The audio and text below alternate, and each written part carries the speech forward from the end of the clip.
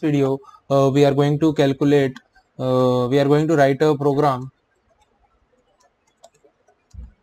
uh, to find a to find transpose of a matrix. As you should be aware uh, about what is a transpose of a matrix uh, so uh, like if there is a if there is a matrix uh, just let me comment. Uh, if there is a matrix let's say uh, a b c and a b c and then d e f okay? And so the transpose of this transposed matrix so transpose of this given matrix would be uh, a b c and uh, then uh, here d e f. Okay.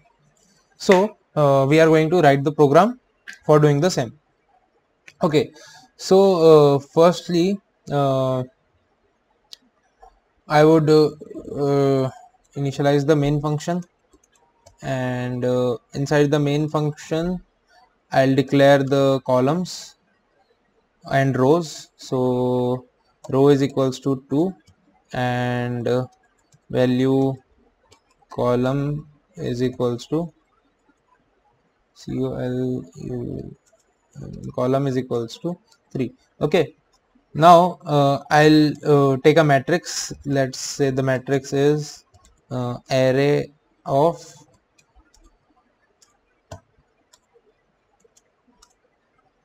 array of uh, int array uh, 2 3 4 and again int array of uh, let's say 5 4 5 6 4 okay. Now uh, uh, firstly we will display the current matrix. So, so for displaying the current matrix uh, instead of using the for loop or the loops that we used in the last uh, video uh, we will just use the uh, keyword display.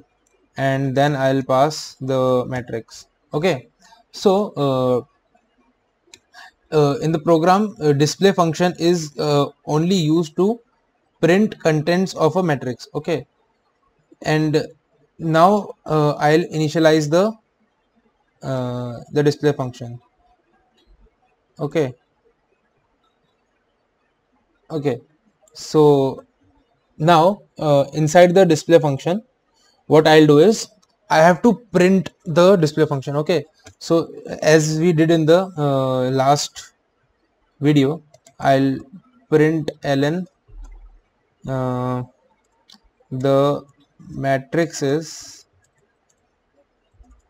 and then colon okay? And then for row n matrix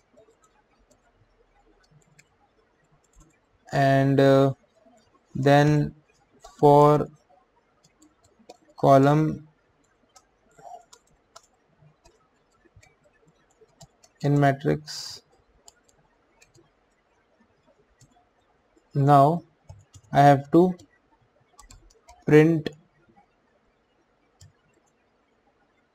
I have to print um,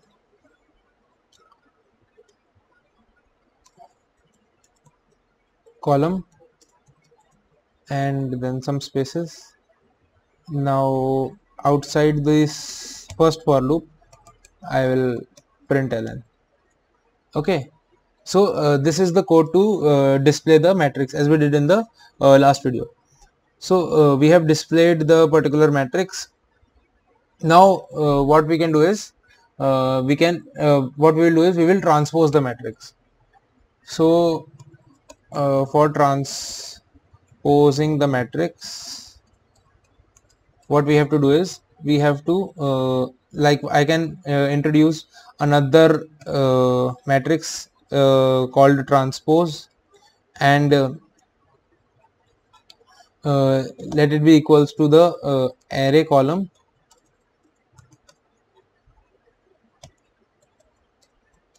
And then array row.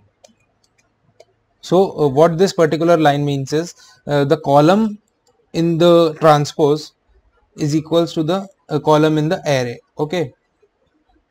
So uh, and so when I hover over it it's a well column int. Okay? And when I hover over this this is the array and then this is size and then this is init and then there is an int okay. So it it uh, what it does is it uh, uh decides the size of the particular uh, array. Okay. Uh, so uh, sorry a matrix. So for i in 0 to row minus 1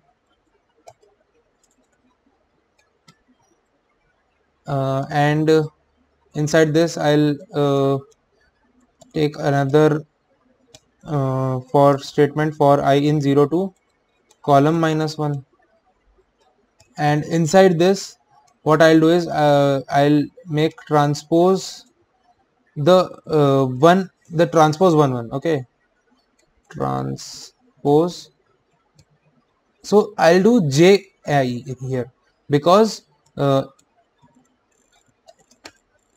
sorry here would be J. Because uh, the transpose 1 1 is equals to uh, the transpose of 1 1 is equals to 1 1 the transpose of 2 1 is 1 2 okay so the transpose of 2 1 is matrix of 1 2 so I can here do I and then J. Okay.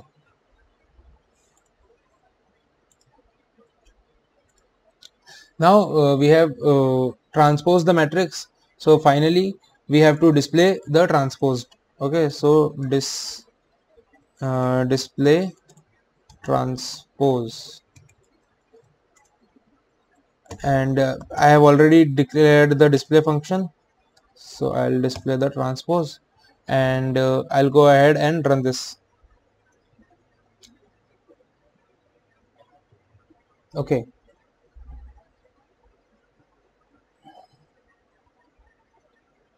Okay there is again some problem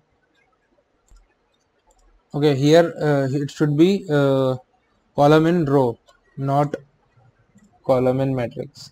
So when I uh, run this